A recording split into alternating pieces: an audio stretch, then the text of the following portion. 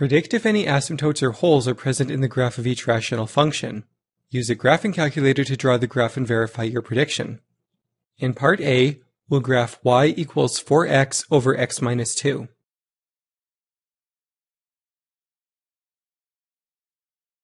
Let's take a moment to learn about rational functions with a numerator degree equal to the denominator degree.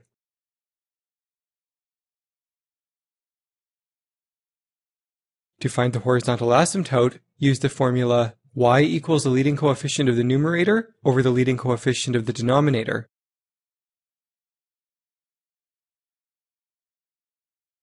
We also have vertical asymptotes at the non-permissible values of the rational function.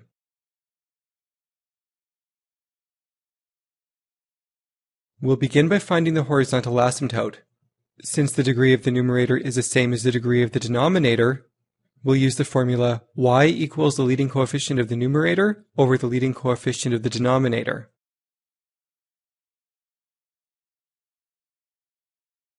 The leading coefficient of the numerator is 4, and the leading coefficient of the denominator is 1. The ratio is 4 over 1, which equals 4.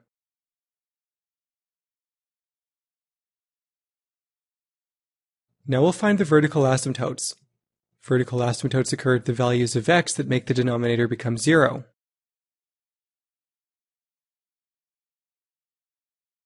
Write the equation x minus 2 equals 0.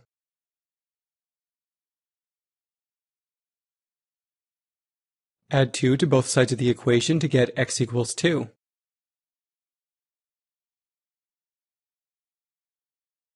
There is a vertical asymptote at x equals 2.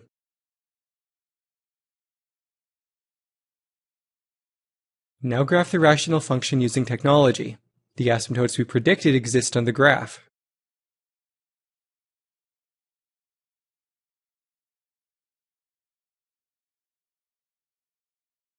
In part B, we'll graph y equals x squared over x squared minus 1.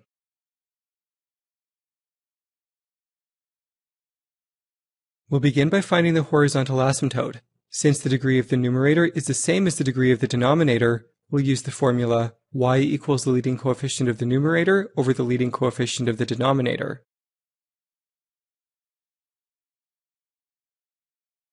The leading coefficient of the numerator is 1, and the leading coefficient of the denominator is 1. The ratio is 1 over 1, which equals 1.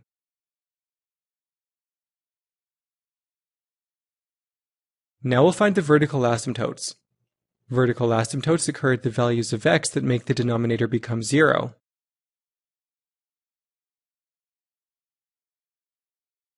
Write the equation x squared minus 1 equals 0.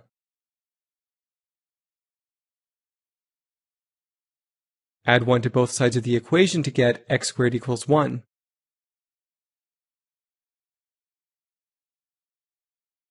Square root both sides of the equation.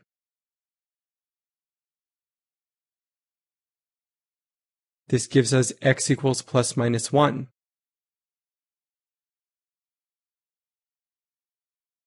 There are vertical asymptotes at x equals negative 1 and x equals positive 1.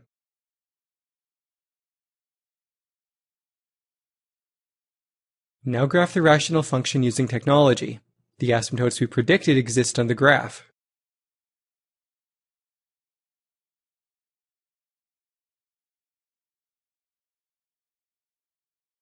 In part C, we'll graph y equals 3x squared over x squared plus 9.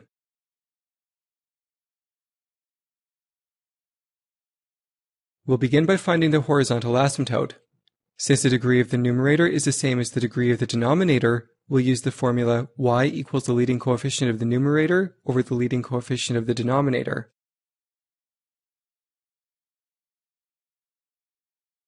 The leading coefficient of the numerator is 3, and the leading coefficient of the denominator is 1. The ratio is 3 over 1, which equals 3.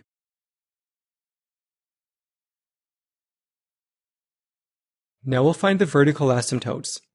Vertical asymptotes occur at the values of x that make the denominator become 0.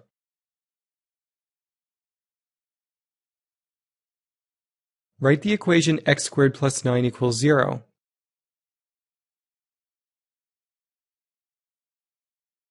Subtract 9 from both sides of the equation.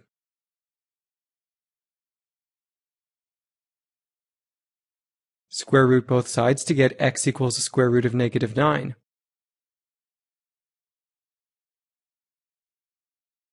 The square root of a negative number is undefined. There are no vertical asymptotes.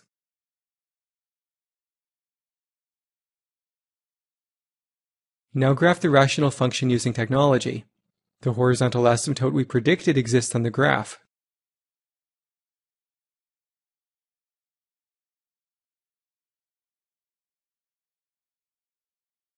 In part D, we'll graph y equals 3x squared minus 3x minus 18 over x squared minus x minus 6.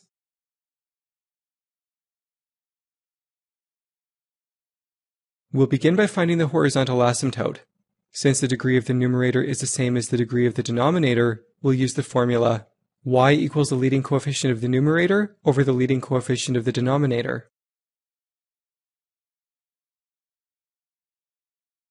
The leading coefficient of the numerator is 3, and the leading coefficient of the denominator is 1. The ratio is 3 over 1, which equals 3.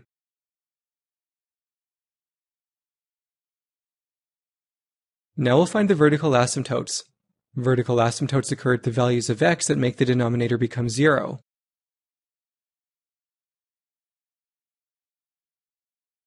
Write the equation x squared minus x minus 6 equals 0.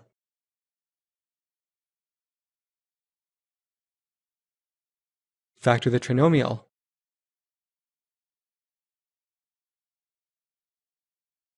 The roots of the equation are negative 2 and 3.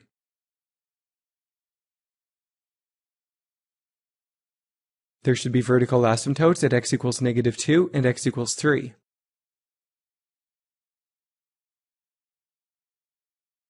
Now graph the rational function using technology.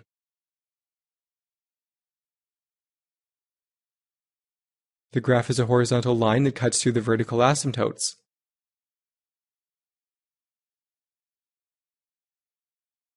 We can understand why this happens if we factor and simplify the rational expression. Identical factors cancel, leaving us with just 3.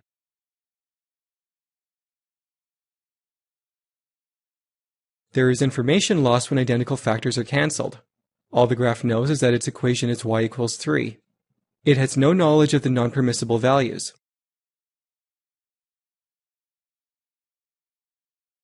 However, we know for a fact that negative 2 and 3 are non-permissible values, we can indicate this on the graph by drawing holes at x equals negative 2 and x equals 3.